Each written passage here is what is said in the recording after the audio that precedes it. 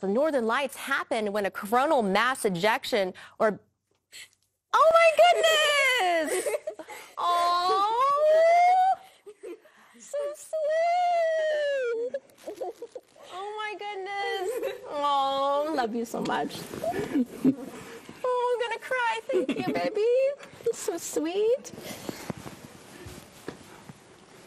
Oh my God. Mary, you're my northern lights.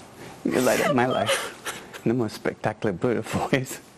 And the girls adore you, and I love you. I want you to be part of our family. Will you be my, my forever girl? Will you marry me? I love you so much.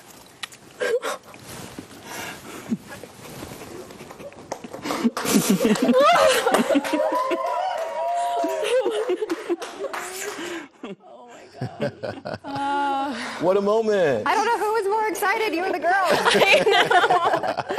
I love little Maddie's question immediately after all of that. She's like, so do you like the ring? So do you? I love it. I love it. Just crying again. It was just so unexpected, and Yeah. I honestly I didn't know if it was gonna ever happen. So I just, you know, and it's so crazy because all of you were dropping hints. I totally did not get it. I didn't. I didn't even see it coming from a mile away. So.